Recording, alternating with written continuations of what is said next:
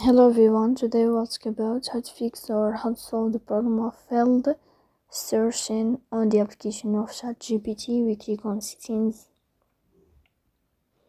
Here in this page you can go to apps, default apps, app settings.